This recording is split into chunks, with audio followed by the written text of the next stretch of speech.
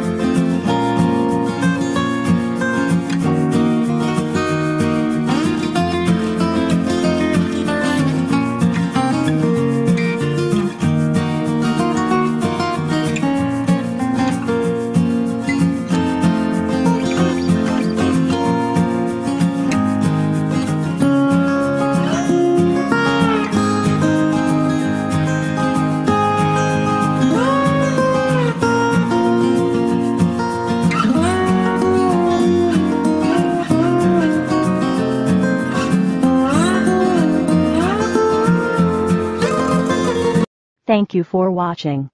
Click on the subscribe button and stay tuned.